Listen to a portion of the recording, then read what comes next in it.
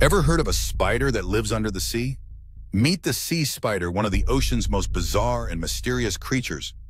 Unlike the spiders you find on land, sea spiders are marine arthropods with eight long, spindly legs and tiny bodies.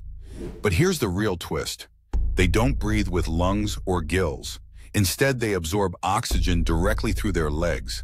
Their legs are so thin and packed with blood vessels that oxygen just diffuses right in. Imagine if you could breathe just by sticking your legs out. No nose or mouth needed. Sea spiders can be found in oceans all over the world, from shallow tide pools to the icy depths of Antarctica. Some can grow as big as a dinner plate, while others are barely the size of a fingernail. Their long legs help them creep along the seafloor, searching for soft-bodied prey like sea anemones and sponges.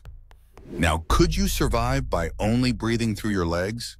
Probably not, but sea spiders make it look easy. What's the weirdest animal adaptation you have ever heard of? Drop your answer in the comments, and don't forget to like, share, and subscribe for more amazing animal facts.